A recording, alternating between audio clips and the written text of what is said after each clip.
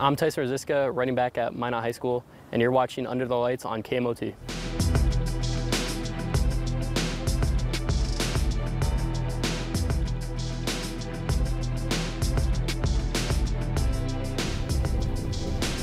Under the Lights on KMOT TV starts now.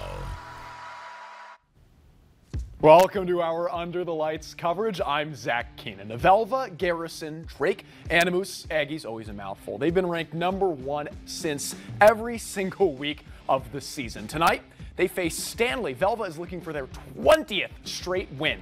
At Larry Sandy Field in the Star City, Stanley received the opening kickoff. Velva defense forced a three and out. Aggies rolled downfield on their opening drive. Ben Shep, the junior quarterback, evading blitzers. He throws up a duck caught by a diving Hank Bodine. Hurry up offense, and on the next play, Shep takes the snap. Guess what? Ben's got a blast. Trucks his way into the end zone for six, and the Aggies lead 6 0. Hey, and they get the ball back thanks to another defensive effort. Shep, again, running away from pressure, finds Kyle Volson. 10 yard screen pass, touchdown. Two point conversion from Trey Eigelhart made it 14 0 Velva. Still in the first quarter, Shep from the shotgun. Reggie Bruner, you can see him calling for the ball. He gets it. Beats two men on his way in for six more. Velva DAG goes up 22 0. On the kickoff, credit to the Blue Jays for staying in the game. This has been a season full of improvement for them, and it's thanks in part to Drake Schlosser. He goes 70 yards to the house. Hit the fast forward button, not on your remote, but I will. Extra point puts Stanley on the board, down 22 to 7. But Velva, they're the reigning state champs. They're a really good team.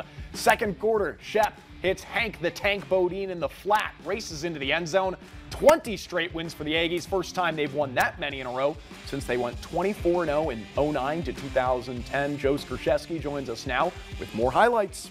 Zach, lo- first off, I love hearing Larry Sandy Field. If anyone's earned it, right? ever. Right, yeah, I best know, thing right? ever. A Right, legend. yeah. Nedrose uh, hosting South Prairie tonight. Zach, I thought I'd uh, seen enough drama like earlier this week at that presidential debate, and then I came home and covered this game tonight. Honest to God, first half, more turnovers than a bakery.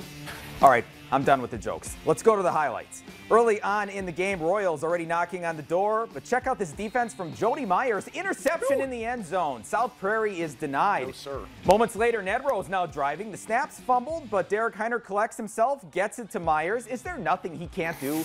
Takes it for about a 20 yard gain. All right, Jody. Nedrose with a little wildcat. The snap goes to Keaton Cole, but a hard hit knocks the ball loose, and the Royals land on it. Now it's South Prairie who's driving. Hayden Bowl dodging defenders, fighting for yards, but then he's going to lose the oh ball. Oh, my goodness. And Nedrose is going to recover it here.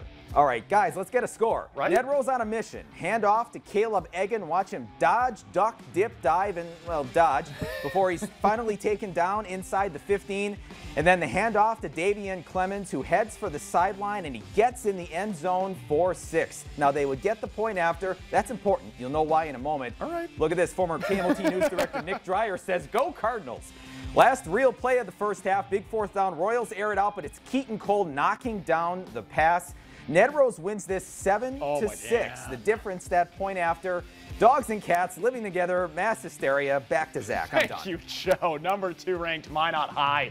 Travel to number three, West Fargo Cheyenne tonight. Magicians up 3 0 in the first when the Mustangs go to the air. Caden Olson to Caleb Deer over the middle. Touchdown makes it 7 3 Cheyenne. Second quarter now. Mustangs on the move again. This pass, though, through the receiver's hands and into the hands of Logan Conklin. He does the rest. Pick six. Hey, the Magi up 10 to 7.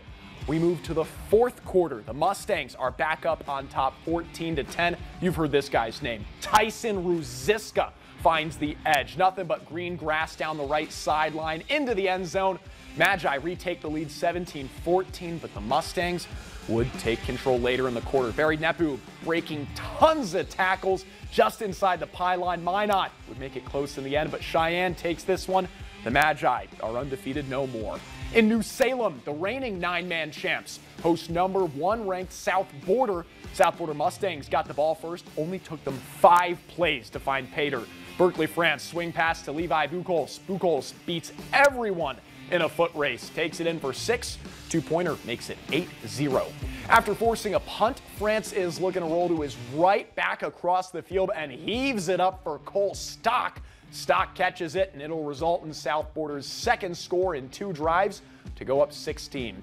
Flipping fields in the second quarter, South Border defense still pitching the shutout, offense still rolling. France uses his legs this time. His third touchdown of the day, well, he had five by the end of the night. South Border Mustangs, one win away from the program's first ever region title. We've got a whole lot of volleyball in Des Lacs today. Highlights from the Laker invite, plus some nine man football when Under the Lights is back.